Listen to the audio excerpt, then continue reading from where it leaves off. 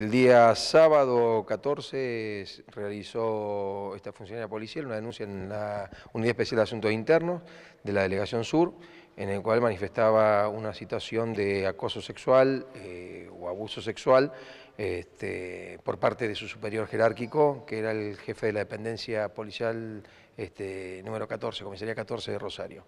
Eh, con lo cual, inmediatamente desde la Dirección Provincial de Asuntos Internos, se elevó este, la denuncia a la fiscal de Violencia y Corrupción Institucional, Karina Bartocci, y eh, la Secretaría de Control de Fuerzas de Seguridad, dependiente del Ministerio de Seguridad, tomó carta en el asunto, conjuntamente con la Secretaría de Seguridad Pública, y este, se separó del, cargo al titular de la dependencia,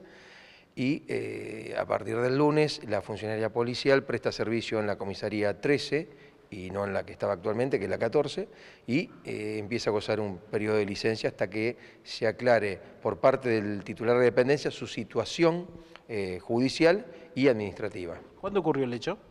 El hecho fue en julio del 2017, eh, primera manifestación que hace la denunciante y luego con una reiteración de, de un hecho similar en agosto del 2017. ¿En qué consiste el mismo?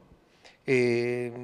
un abuso, ella manifiesta que intenta este, tocar alguna parte de su cuerpo superior. Este, pero bueno, más detalle no puedo dar porque todo eso corresponde a la investigación que lleva adelante la fiscal. ¿Cómo sigue ahora el trámite interno?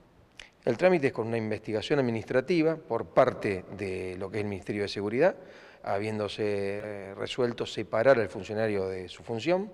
eh, al titular de la dependencia, y a la misma eh, se le ha otorgado el pase a la comisaría 13 y eh, un periodo de licencia del que está gozando.